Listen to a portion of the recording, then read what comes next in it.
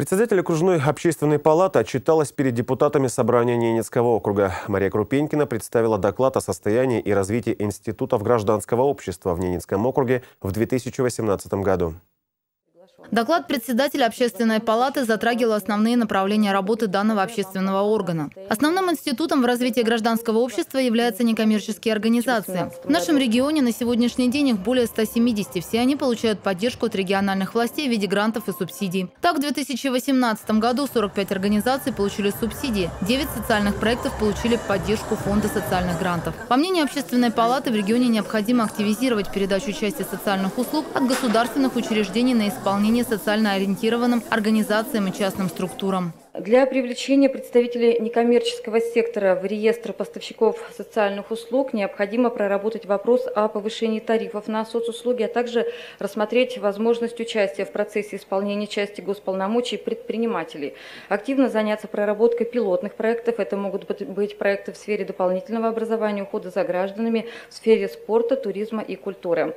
По итогам небольшого опроса, который Общественная палата провела среди некоммерческих организаций, выяснилось, что НКО, например, вот два только примера приведу, готовы взять на себя исполнение госполномочий по оказанию юридической помощи или уборке дорог.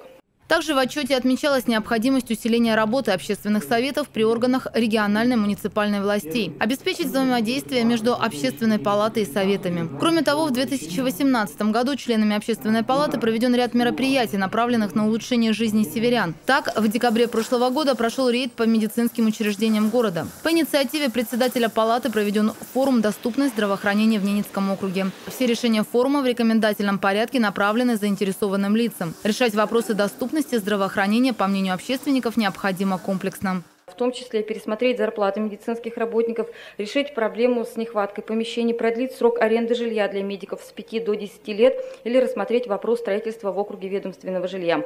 Также предложено вернуть гарантийные письма, по которым пациенты, направленные на лечение за пределы Ненецкого округа, смогут приобретать билеты без собственных вложений.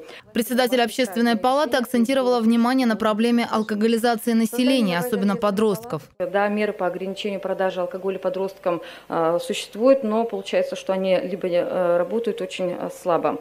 Поэтому в данном направлении необходимо вести постоянную работу, а при необходимости вносить изменения в законодательство. Как одно из предложений окружных полицейских – ограничить работу веселительных заведений Ненецкого округа до двух часов ночи. Губернатор Ненецкого округа Александр Цибульский, присутствующий на сессии, отметил значимость этой проблемы. По его мнению, налицо недостаточный контроль за такими заведениями, отсутствие штрафов владельцам за нарушение законодательства.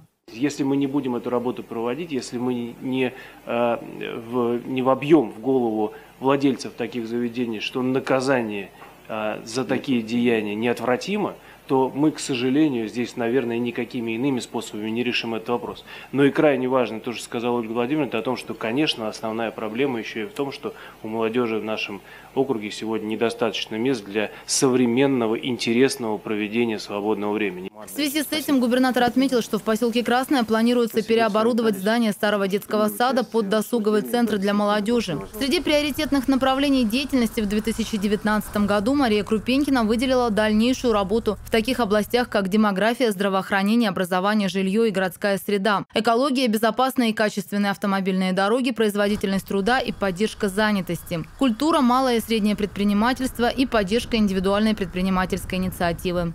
Ольга Русул, Вадим Носкин, телеканал «Север».